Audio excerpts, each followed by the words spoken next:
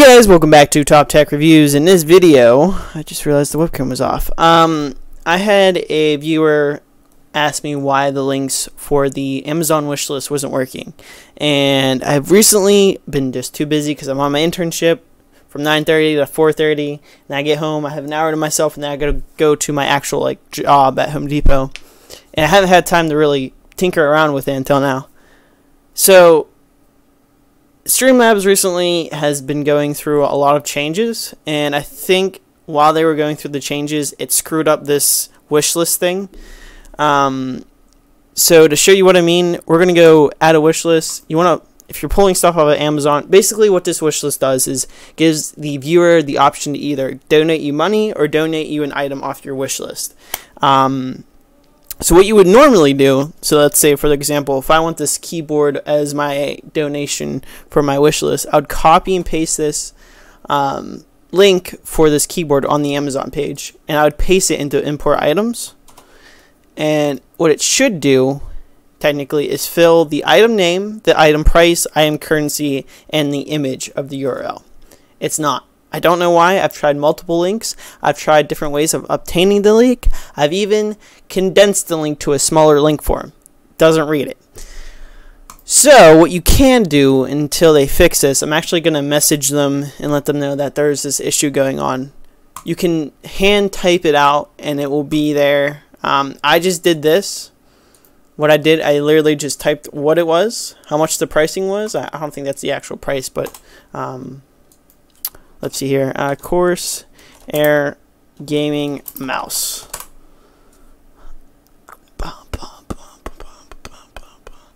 Okay, so it's $49, so um, change that, just be accurate. I kept it US dollars because I'm in the United States, and then I just copied and pasted the image. And how you can do that is if you're already on Amazon page, just right click and then say and then say then click on open image in new tab. And what this will do is open the image itself and then you just copy the link up above. Control C if you're on a Mac command C and then paste it into this um, box right here. And it should bam substitute it as you already see. Then save it uh, image must be two to 100 characteristics. I don't know why it said that. Not like I it really changed anything. So yeah, it's a little buggy right now. So like I said, I am gonna send a what's it called? Tweet them. That's what I was gonna do to let them know that the wish list is a little buggy, or maybe find a question to why I'm getting that error. And yeah, until the meantime, you're just you guys are just gonna have to hand type it and just do the manual work instead of having the import item option where it just auto fills it in for you. So yeah, guys, uh, that is the update. And if you guys have any questions, free feel free to leave them down in the comments.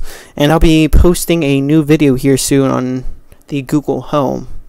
Uh, if you guys are interested, hit that subscribe button to catch. To heard me. Stop listening. um, yeah, what was I saying? Oh, uh, if you want to catch that video, I'm going to be releasing it next week. I'm just throwing this video how it is on. That's why I'm kind of fast-paced talking. Uh, currently, I uh, won't have time to edit this, and I wanted to get this out to that person as soon as possible because they already waited a week. I do apologize. And um, yeah, I'll have that video out for the Google Home next week for you guys to uh, get your Google to text for you. And yeah, thank you guys for watching. Thanks for your support, and I'll see you guys next week.